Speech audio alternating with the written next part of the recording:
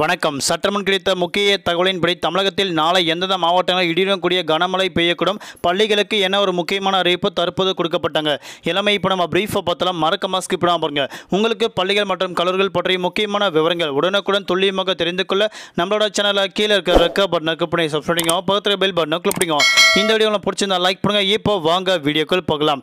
தமிழகத்தில் இன்று முதல் அடுத்த ஐந்து நாட்களுக்கு கனமழை பெய்ய வாய்ப்புள்ளதாக தற்போது கூறப்பட்டு வருகின்றனர். அதன்படி தமிழகத்தில் இன்று முதல் இருபத்தி மூன்றாம் தேதி வரை மழை பெய்ய வாய்ப்புள்ளது.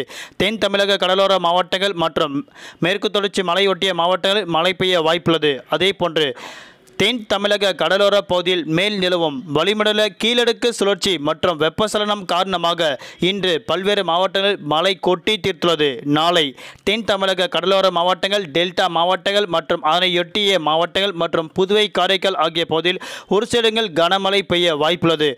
வரும். இருபத்தி ஒன்றாம் தேதி தமிழக கடலோர மாவட்டங்கள் மற்றும் அதனையொட்டிய மாவட்டங்கள் புதுவை காரைக்கால் ஆகிய மாவட்டங்களில் புதுவை காரைக்கால் ஆகிய ஒரு சில பகுதியில் கனமழை பெய்ய வாய்ப்புள்ளதாக தற்போது கூறப்பட்டு வருகின்றன இதன் அடிப்படையில் சென்னையை பொறுத்தவரை அடுத்த நாற்பத்தெட்டு மணி நேரத்திற்கு வானம் ஓரளவு மேகமூட்டத்துடன் காணப்படும். அதிகபட்ச வெப்பநிலை முப்பத்தி ஆறு முதல் குறைந்தபட்ச வெப்பநிலை இருபத்தி எட்டு டிகிரி செல்சியஸ் இருக்கக்கூடும். மீனவர்களுக்கான எந்த ஒரு எச்சரிக்கையும் இல்லை என கூறப்பட்டு வருகின்றனர். அதே போன்று பள்ளி மாணவர்களுக்கு வரும் சனிக்கிழமை நாட்கள் விடுமுறை அளிக்கப்படலாமா என்று தற்போது ஆலோசனை கூட்டங்களில் பரவலாக பேசப்பட்டு வருகின்றன. இதன் அடிப்படையில் அதிகாரப்பூர்வ அறிவிப்பு இன்னும் ஒரு சில நாட்களில் அறிவிக்கப்படலாம் என எதிர்பார்க்கப்படுகிறது.